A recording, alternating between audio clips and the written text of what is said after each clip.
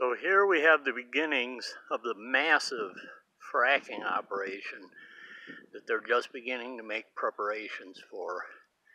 As we look around the sidewall, seeing the emergency exits for when the methane gas is too intense and a danger to the workers. And as we come around this corner of the wall, what we see right over there, that's Bella Romero Middle School, 550 feet away.